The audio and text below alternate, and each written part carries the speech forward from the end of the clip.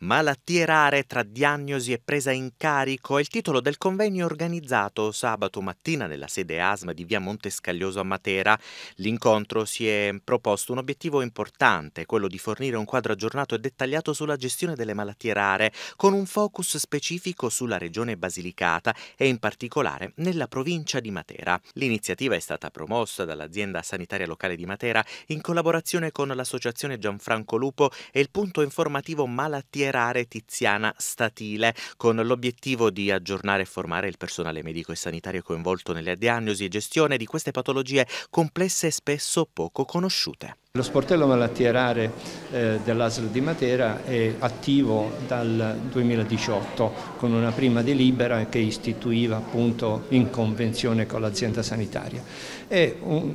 è uno sportello dedicato alle persone con malattie rare che dopo la diagnosi avvertono il bisogno di capire un percorso sia per il riconoscimento, sia per i presidi, sia per un codice di esenzione ed eventualmente anche dei centri specialistici. Il nostro punto informativo è un punto di riferimento per tutti tutti i comuni dell'ASM e, ehm, e, quindi noi siamo a disposizione per avviare i percorsi di coloro che sono in difficoltà, di tutte le famiglie con bambini con malattie rare e di tutti i malati rari.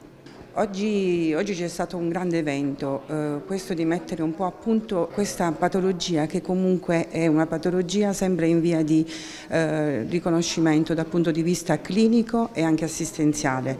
La, la nostra, il nostro obiettivo è quello di creare dei nuovi setting assistenziali perché il paziente, come ci siamo resi già conto, ha un decorso cronico e quindi la cosa più importante è quello che noi sul territorio dobbiamo fare rete.